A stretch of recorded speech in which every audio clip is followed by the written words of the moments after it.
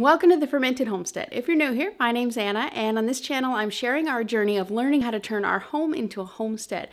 Today, I'm going to go ahead and do a little bit of a garden tour for you. It's been, I think it's been like three weeks since I've shown you kind of like more in detail, kind of the progress of the garden out there. And I wanted to start inside because we have gotten started on our fall garden and planting and doing all the starts and things like that. So I wanted to kind of show you the progress that we have going on in here we have four and a half flats. And there's a lot of melons, squashes, like some of the smaller squashes. I didn't want to risk trying to grow a larger size squash. There's smaller squashes.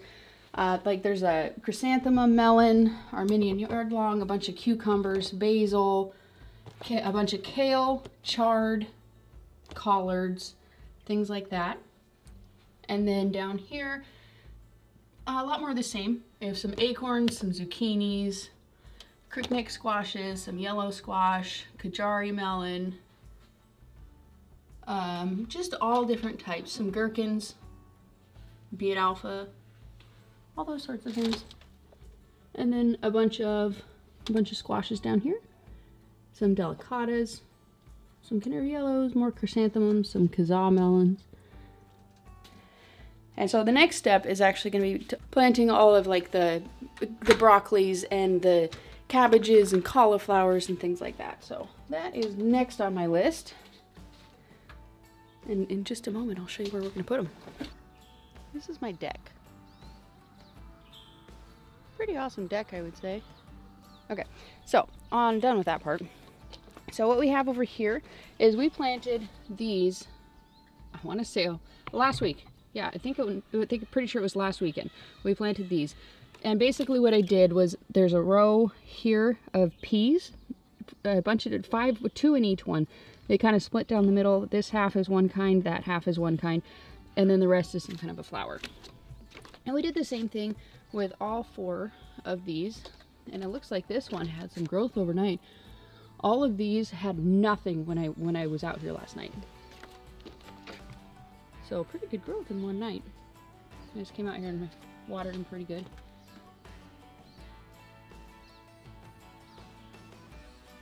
Here we go. These two are definitely blooming the best. And so we still have a few leftovers. We got some fennel, uh, some, what's that, chicory, chicoroi, and some flowers. A bunch of kale that I'm probably never going to plant, or uh, cabbages. I might try it might be worth it. But they've been they those cabbages have been there for so long. I don't think they'll really do much of anything. And we have a couple of delicata squash that we need to plant, and some yellow crookneck. Ooh, I didn't see that. These are just some ones that never bloomed, and now they're starting to bloom. So don't give up hope on your stuff. I'll show you this. I planted these at the same time that I planted the other ones that are down that we actually planted in the ground, and I'll show you those. On to the actual garden part. Okay, so, row number one. So we have a bunch of kohlrabi over here. There's a row of kohlrabi. There's some beets going on here. Some tomatoes that are interplanted with a few different flowers on it. And then just mostly just beets because I planted this whole thing with a combination. It was like every other row was radishes and those have pretty much all been harvested. And then in between those, it was either rutabagas, turnips, or beets. Mostly beets, because I love beets. But yeah, we still have some turnips left over. Not many. The turnips didn't do that well. The beets are obviously, I mean, you can see, I planted these. That was one of the first things I planted. So it's been, I think that was in April. So it's been a long time. It's middle of June, middle of July. And then we have Oh, we have a brain fart. Tomatillo. Yep, we have three tomatillos here. We originally just had this one here and then this one, which is on the other side. And then we realized, we found out that I think it was Jess at Roots and Refuge who said that the the tomatillos have to cross pollinate in order to have, in order to bear fruit from their flowers. Order, otherwise, they're sterile.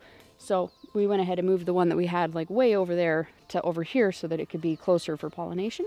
then we obviously planted the onions. They're doing okay. They're starting to starting to really come alive here. And we just have a bunch, a bunch of tomatoes. So these two beds here, this one and that one there, are all planted with predominantly cherry tomatoes. I don't know if there's any that aren't, but there could be. And so these ones we kind of just pruned the bottoms, right? It's pretty clear underneath. And then I let them grow with two main stems on the cherry tomatoes just to make sure we get some harvest because they are determinate. And then yesterday I went through and planted, I don't know if you can tell, but like there's little divots in the wood chips here. Planted beans, bush beans. And planted the ones that are like for canning and for fresh eating. I planted in the beds that are closer to the house. And then the ones that are meant to dry, dry on the vine for, you know, for dried beans. Those ones are a little further away from the house. You can see there's a little fruity here. Fruity. This one's that fruit. This is a Hartman's yellow gooseberry tomato. And, uh, you know, oh, this one has quite a few. Most of those ones pollinated. That's wonderful. I've been having a big issue trying to get these things to actually pollinate. I've had a lot of flowers that have dropped off. And so now, like almost almost every single day, I just have been going through and kind of just tapping each of them, you know, just to kind of give them a little heads up because they're self-pollinating. And so, but if they don't get enough wind, and I've also read recently that if they get overwatered, they won't self-pollinate. So I think that was part of what I was doing. These beds are, if you have not seen the video, I will go ahead and post it up here.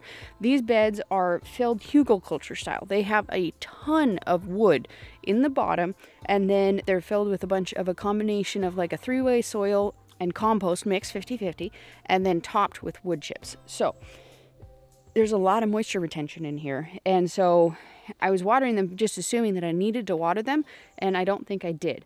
And I mean, you can see I haven't watered these. I've only watered these like twice. I mean, they have a little bit of like some like downward turned leaves, but I don't think they need to be watered. There, some of them are curling. I may end up watering in a day or two, but I think right now they're fine. And also, if you don't know, this is my first year with this garden. I all of this, nothing, none of this existed in February, March, and we uh, did all of this in one year and these are all pallet beds. And then these I just kind of threw in there because I had the soil and the space and the trellising. So we're just gonna go ahead and grow these beans up the trellis. You know they're doing all right. These ones I mean this is me. They're at least a foot taller than me. I don't know if you can tell based on the angle but they're a foot taller than me and they're setting some pretty decent fruit. These are all cherry tomatoes or setting some pretty decent flowers. not the fruits yet. See if we can find any more. There's not a whole lot. Like I'm just really struggling getting these things to actually pollinate. I don't know why. If you guys have any ideas, feel free to shout them out down below. Oh yeah, this one, the gold nugget cherry tomato. This was our first one. This is the only one that pollinated with the original planting. And this thing is definitely setting a pretty good number of fruits, I would say. So yeah, I just come through, just kind of tap them, give them some vibrations. Good vibrations, you know. Hartman's Yellow Gooseberry. No, that's this one. So same thing. You can see it a little better over here. The little holes. I did roughly about every I don't know, four to five, six inches, something like that. I wasn't too picky.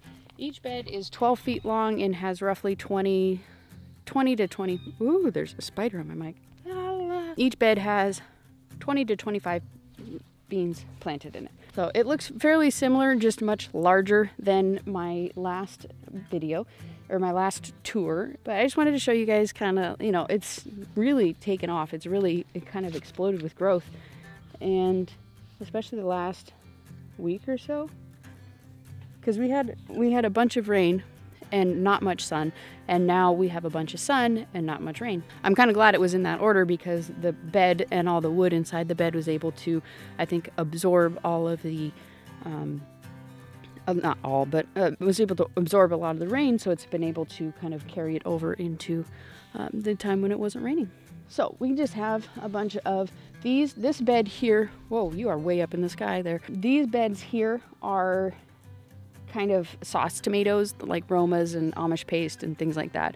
Paste tomatoes rather.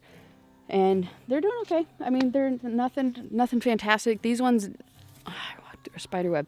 These ones definitely are the slowest growers. I mean, they're not, they're not blowing me away. They're not wonderful. These ones are doing pretty good. These are kind of the bigger tomatoes. Oh, this is how I ended up bracing my bed that was my trellis that was leaning a little far forward.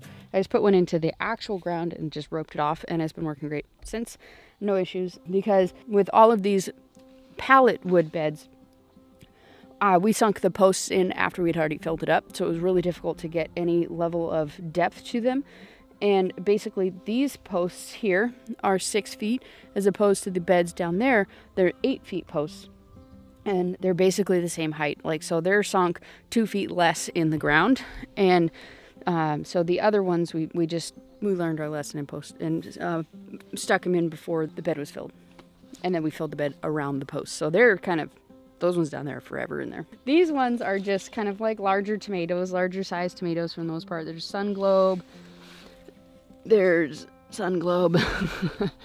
Top triple crop uh, Tiffin Mennonite, some Wapsipicon, something, I don't know how to pronounce that. Another triple crop. Uh, you know, just some nice growing tomatoes. There's some beefsteaks. I think this one's a beefsteak. Yep, beefsteak. So most of the ones in this bed I have also cleared pretty high. A lot of these branches are just so huge and they're growing down. I don't know. See, here's a good example. Like it literally just grows down. This one here. So I don't know if that's normal with tomatoes. I really don't know. If you know, let me know. Defi if it's a variety thing or if it's a deficiency thing, let me know down below if you know the answer to that, because I don't. But anyways, most of these ones, if it's not a cherry, I've I've trimmed it down to a single stem and for the most part with some made it through and like this one here like I, it got too big before I noticed so I just let it grow. But this one I intentionally let grow because it's at the end and so I'm gonna go ahead and let it one grow up here one grow up here. And so I had tied these all off almost all of them. I tied them off and kind of looped them around until they could securely be weaved in and out of this trellis thing. And then I, but I went through and cut off most of the ones that didn't need it anymore. So that's why you still see a little bit of red strings here and there. Those ones still kind of need it. They're not high enough in the trellis for me to be comfortable to take it off, basically. So it's just the tomatoes and tomatoes, and then some more tomatoes. And here's more. This bed, uh, this is probably the best flowering. Oh, Principe Borscht. This one has a few uh, fruits set. Oops, sorry, that's probably gonna be really loud. This one, Principe Borscht, has a lot of fruit set. But yeah, just come through. Like, literally every day, sometimes morning and evening, because I really want tomatoes. I just come through, tap them, tap, tap, tap. sometimes I'll even take like two fruits and try and like pollinate each other. I mean, I'm single-handed, but you know, take two hands, kind of turn them towards each other, mush them together, make the tomatoes kiss. Sometimes I do that, but usually I just shake them. Matt's Wild Cherry. So in this bed, well, bed in this pallet, we have just a bunch of tomato, bunch of peppers, and these ones in the in the pallet are actually doing better than the ones that are in ground. I think maybe it was they were planted like a week before, but I mean that shouldn't have a whole lot. I mean it's only a week. But yeah, the peppers are kind of my husband's thing. We both really enjoy the peppers, but he really enjoys gardening the peppers. So he just kind of does that. And we both enjoy eating them. Same thing with the tomatoes. Like he probably enjoys the tomatoes more than I do, but I really enjoy gardening them. So, so far I've had a pretty good amount of luck being able to keep up with the gardening. It's probably because I have no life and I don't do anything apart from that and working. Like literally gardening and working, making videos is about it. I kind of avoid the store like the plague because I don't like to wear a mask. I have asthma and it really messes with it, my asthma, so I just don't. Uh, I go every once in a while, but only if I have to. so anyways, that's why there's not been a whole lot of videos out because I'm not going to the store and buying fresh vegetables, waiting for my garden to start producing, and then I'm going to be putting out a lot of videos. But there are a few videos that are coming for sure. We just harvested our last batch of chickens last batch of meat birds and they're in the fridge cooling or in the ice bath cooling off and I need a clear room in the freezer so I'm going to be dehydrating a bunch of stuff so that those videos are definitely to come and so anyways over here we have a bunch of potatoes uh, my husband went through and planted them. Uh, he saw a video by Charles Dowding and where he just put cardboard down and dirt on top of it and planted. And so that's what he did with the potatoes. He checked them yesterday and they're doing really well. He pulled up part of a plant and got a pretty good number of potatoes in there. And then this one's a bit of a longer bed and they're just now kind of sort of starting to die back. And uh, after he looked at them yesterday, he wanted to make sure to let them go just a little bit longer to make sure that he gets the biggest potatoes possible. Because who wouldn't want to do that? More tomato, tomato shaken. And this one is Ukrainian purple tomato. So I haven't mentioned in this particular video, but in case you haven't noticed by the endless rows of tomatoes, I have a lot of tomatoes. My husband counted and he told me that he thinks that we, or he, I think he probably actually counted, but I'm trying to remember the number, and it was right around 180. So we have a lot of tomatoes, and there's 67 different varieties. It's not all just one. I kind of went crazy in the Baker's Creek and M.I. Gardener catalogs and websites and ordered a lot and planted a lot. I wasn't planning on planting so many, but like I planted two in each of the pots and they all, for the most part, actually took and uh, germinated. So I couldn't kill off the seedlings and I had to grow them all. That's just life. So I'm just finishing off the row here. Here we go. This one is Hillbilly and Sweetie. Brandywine yellow. The brandywines are not doing very well. This one is just not doing anything. I think it must have some, because I mean, I don't see a top. And it's been like this since it's been planted for the most part. So I think it got topped and I'm probably just gonna pull it. I don't know why I haven't pulled it so far. Brandywine black. The ones that are struggling the most are the brandywines. I should put it that way. A lot has changed in this bed. This is the 16 foot one that is the 2x4 with the metal planted predominantly with peppers, but not all peppers. Uh, I'd say, let me see, I think these are like, well, there's three rows. I think, so I think they're planted about a foot apart and then maybe like a foot and a half in between each one. Uh, my husband planted all of these. They're all peppers. And they just are really struggling to grow. I went through last night and I, I fertilized everything except the potatoes with fish emulsion. And so hopefully that will help and it will uh, cause it to grow larger, bigger, greener, you know, all that. And so in between, I planted rows, like there, there's just, let me see if I can give you some perspective here. Like here is just a bunch of radishes all the way down. And then like in between, so, and then there's also this row here and in between here, skipping obviously over the peppers, are beets. And it's just the whole bed is planted the same way. And then here are some tomatoes that were planted much, much later, but they're actually doing really, really well. They're setting a bunch of fruits, or uh, uh, flowers, and they're setting some fruits. So these ones have been kind of just wild tomatoes. Oh, oh, oh. There we go, we got a fruit on there. So over here is our egg harvest for the day. well, at least for the morning. That was before I actually fed them and I left them out here.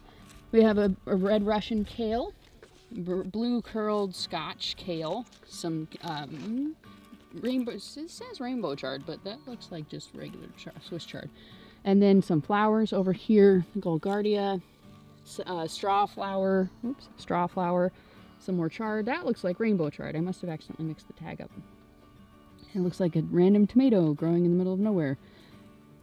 Some more kale and some more flowers. So, and then these ones, I'm really surprised actually sprouted because I planted, I planted one here, here, here, and here of the four different types of summer squash that I have. I planted two just to make sure. And, but I came by like two nights later and it was just these like gutted on top of the soil all over. So I assumed that like a mouse or something had come through and just eaten all my seeds.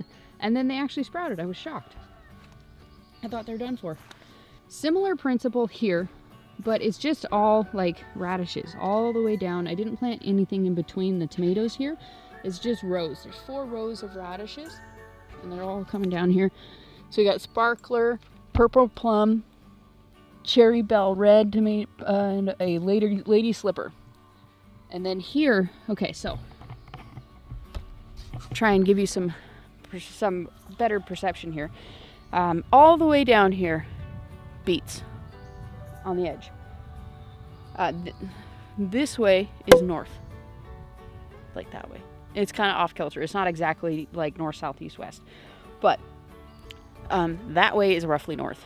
And so I planted the beets in the front because they just gonna need the beets in the back end will grow much quicker and they will the, not the beets the radishes in between will just grow much quicker. So they'll go up and then they'll just be harvested. And then the beets are much much slower growing and so they need a lot more light. That's my thinking anyways. And so I put them in the front. This bed all the way down. Same principle. I think that one there is the Zlata radish. I hate Zlata radish. The only reason I planted them is so that I can give them to my chickens. They are so bitter and so gross. Oh my gosh, they're just like, um, so yeah, we have a bunch of tomatoes here, and this one has not been mulched. I need, I still, we still need to mulch these, and we're gonna be doing that at some point fairly soon. So here, I still need to come through. These ones were planted much later than the rest of the tomatoes. I think that's fairly obvious. Uh, they were left in the greenhouse for a really long time. And then once this bed was actually finished, my husband came through and just planted all of all of the tomatoes that we had left. So my husband planted all of the tomatoes that we have actually it's the planting of the tomatoes is not necessarily something that I enjoy. And so I don't know if he enjoys it or if he just knows that I don't enjoy it. And so he decided to uh, plant those for me but it was amazing and awesome. Thank you. Anyways so here same thing. Uh, these are early wonder beets just planted all the way down. In the center of this section here I planted greens. There's one, two, there's three different types of, of lettuce greens that are in there. And then here is some white icicle. So I went, like I, you can kind of see the lines here. I went ahead and sprayed these also with the fish emulsion. And I can see a huge difference even just during the day or from one day only. Like it's crazy how different it looks. So our main thing that we have around here are rabbits and I see lots of little rabbits. I see deer also, but the deer, since I put up the deer fencing, they don't seem to be an issue. They're not traveling through my yard. I don't really see them pretty much anywhere. But these fences are not um, rabbit secure. they might be deer secure-ish, but they're not rabbit secure in any way. And so they can get out, and I think that they've been nibbling on some of my stuff. So, anyways, that's why I put up the electric fence around the garden instead of the chickens. That's why. So here is just kind of, it's squash land. It is a mixture, it's a mixture of summer squash, winter squash, and melons all over the place. Like you can see here, Jake, there's some jumbo pink, pink banana. Here is, oh, another one. I accidentally planted them next to each other. I was trying to avoid doing that. Some Jarrahdale pumpkins. Those are like the, brown Cinderella type, or the gray Cinderella type. Orange butternut. Waltham butternut. Oh, I did it again. Waltham butternut. Let's go this one. Spaghetti squash. Oh, there's some spaghetti squash. I thought I forgot that. That makes me excited. And here's a uh, baby sugar baby watermelon. I did not properly prep this bed, so there's to be lots of weeding to do in these tiny little holes. And not all of them are doing as well. They're definitely doing much better. I'm sure you may be able to tell, but they're much better up here at the top. And then this one's still pretty good as well. And then this one definitely starts to suffer, especially when you get to there. Um, you can kind of see the perspective here. But anyways, this one also, it's a canary yellow melon. The melons are really struggling. I think the melons that I planted, I don't know, maybe we just don't live in melon land. like, and there, maybe there's just not enough sun, enough heat for the melons because it's pretty universal across the board. Like, the melons are definitely riding the struggle bus big time in my garden. Uh, but hopefully, once we get this place kind of logged and get a bit more sun on the garden, then hopefully I will have more luck with the melons. And hopefully, I'll have some luck this season. I don't know if I'm going to, but I'm going to try. I'm certainly, as you saw in the house, I have a bunch of melons ready to go, so I have definitely not given up on that. See here, Kajari melon. It just looks pitiful. But Beit Alpha. Like this thing is little and it is going to town. I think this is gonna fall off. It probably wasn't. Mm, yeah, there's no female. There's no male on here. But look at this. Look at how many there are. This is like a six inch vine. And there's like gotta be at least 15 different different flowers forming on it. It's crazy. This, a, this one is the Russian pickling cucumber. And this one, like it started to flower, but then like half of the vine right here died. I don't know what's going on with that. I haven't seen any bugs at all. So I don't know, I haven't seen any squash bugs or anything. I'm not saying they don't exist, but I haven't seen any. Kajari melon, Beit Alpha. This one got eaten, Beit Alpha. Loofah, Prescott Mont Blanc. Kajari melon. This one's doing pretty okay, at least by the standards of the melons, the rest of the melons. This one was the crazy one. Look, it's like just a giant clump. Big clump of flowers. Yes, both male and female. So maybe, hopefully, Lord willing, we will get some cucumbers off of this. This is a Russian pickling cucumber. And look at this. So the Armenian yardlong got eaten, the loofah got eaten,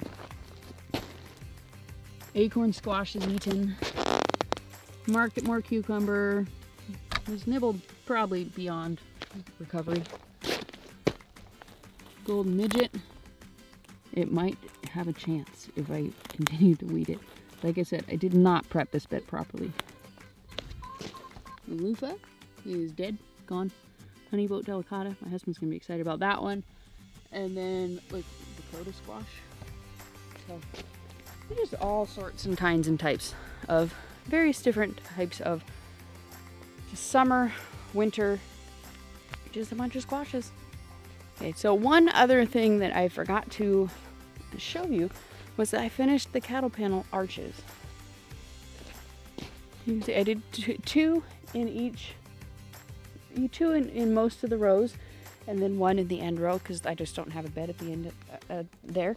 But I'm super excited because all of these beans and, and uh, pickles, uh, cucumbers, all those sorts of things are going to be growing up the trellis and it's going to look super pretty. So I have a bunch of nice beans planted to go there.